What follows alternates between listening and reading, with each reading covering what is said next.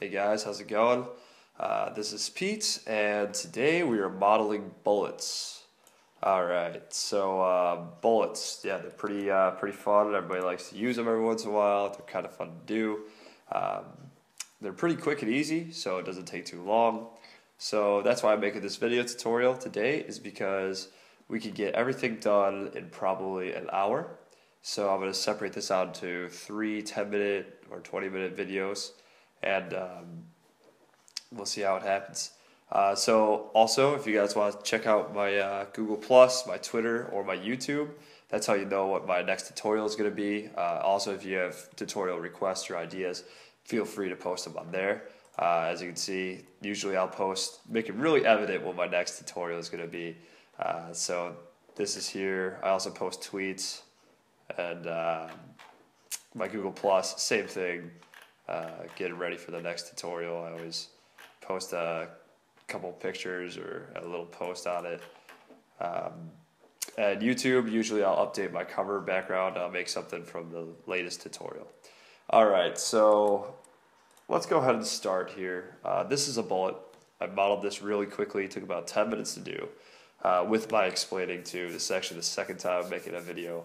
Uh, screw up the first one. But this is what we're going to end up with, hopefully, when we're done uh, with the modeling portion. And then the next video will be unwrapping. Alright, so I chose a bullet because it's very simple geometry. It's really a cylinder inside of a cylinder. Uh, you can't really get much easier than that.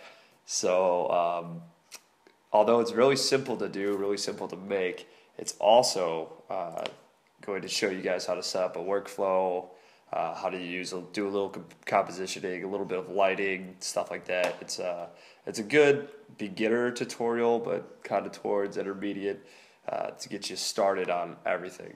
All right, so the first thing we're going to do is we're going to open up a uh, a new uh, background image. All right, so let's go ahead and separate the viewports, which is Control Alt Q for those of you that don't know.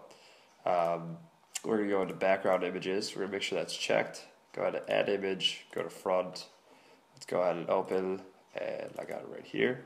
So as you can see, I have multiple different uh, different views of bullets and stuff. Uh, this is obviously the one we're going to use because it's straight up and down, uh, not much uh, leeway with it really. So it's uh, going to be pretty quick. It's going to take about 10 minutes.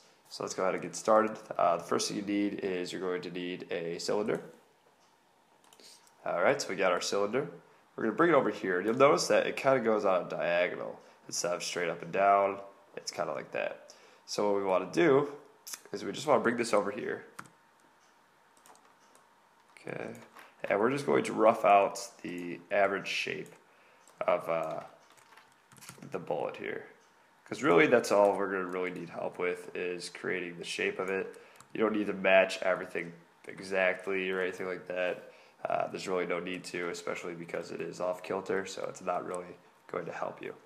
Okay, so the next thing we're going to do is we're going to uh, create all these little bevels and extrusions, divots, and flat tops, all that good stuff.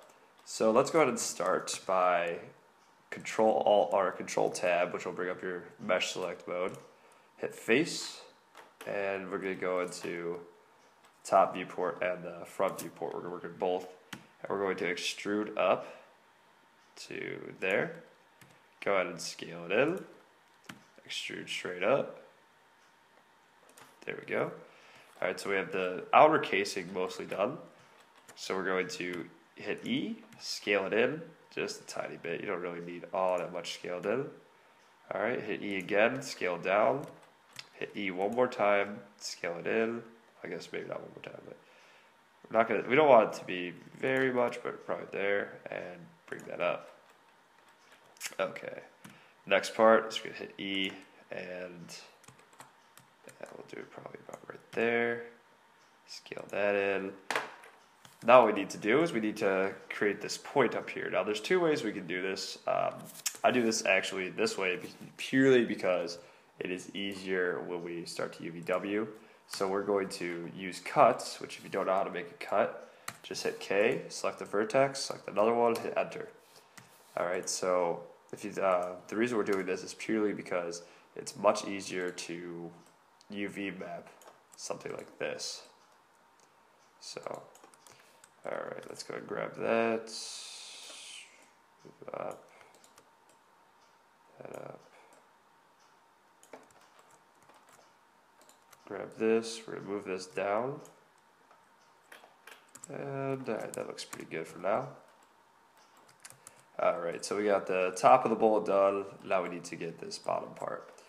Okay, so this is where your primer and everything is for your round. And the first thing we're going to do is scale it, or extrude it and scale it down, because as you can see there's a little bevel in it right here.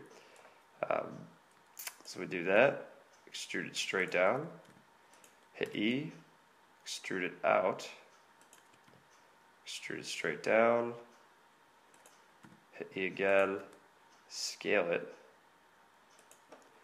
Alright, now we have to make the primer, which is going to be right underneath. Hit E. We're going to scale it in almost till it's about half the size of what it was. Alright, then we're going to scale it up. E, scale it in, scale it down, making sure the primer doesn't come. Because it's going to come a little bit farther than the tip or the bottom of this bullet here. But it's not going to come out too much. We don't want it too exaggerated. Alright, so that's going to be our bullet. The next thing we have to do is just like the top. And again, this is mostly purely for uh, for our UVW purposes when we start to unwrap. Uh, you'll see what I'm talking about when we get into that video. Um, but all we're going to do is select, actually, yeah, Control 7 will also put you in the bottom view um, if you have a numpad. Okay, so cut, and cut, then cut. Alright. So let's go ahead and put on a subdivision or a multi-resolution, either or. So we're going to use subdivision here. And notice the bottom looks good, top looks pretty good, but there are some major differences in the way the bullet looks. Mostly uh, this one looks a little fatter, which is not that big of an issue. But you notice that it comes out right here, whereas this is straight up and down, and this kind of like comes out like that, more ovalish. So we need to get rid of some of this. Okay, so the way we're going to do this is by adding edge cuts. Uh, now there are other ways to do this, which I may explain in other video tutorials, but what we're going to do for this one is create different cuts, and what those these cuts are going to do is they're going to allow us to uh, kind of smooth out the edges and keep it uh, like a cylinder instead of like ovaled. Alright, so the way we're going to do that is hit Control R, and we're going to move these relatively close to the top and the bottom of the cylinder here. And you'll notice that that straightens it out. Okay, and you can bring this up closer farther down, wherever you wish. Alright, and we need to do the same thing right here pull it down, or grab this, do it right there, up, go. And I would hit smooth, starting to look like uh, like the bullet. Okay.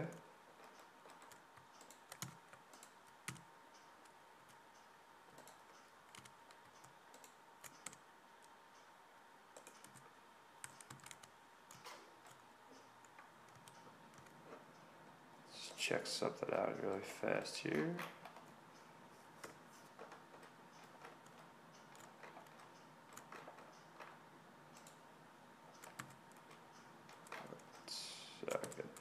Uh, let's grab this and we'll scale this in.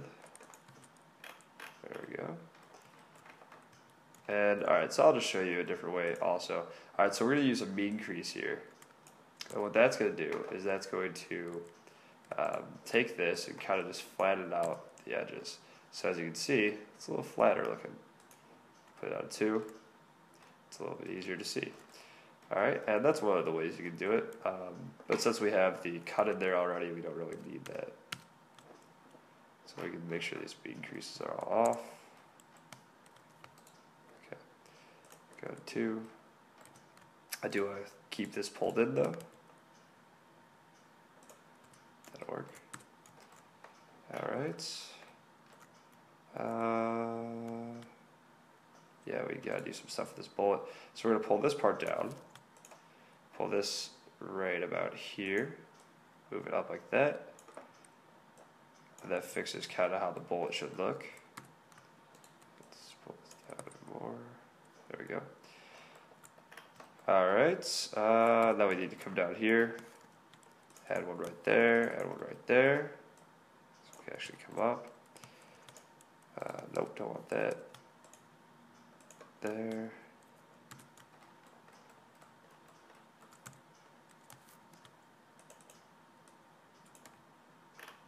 Okay. So now as you can see here,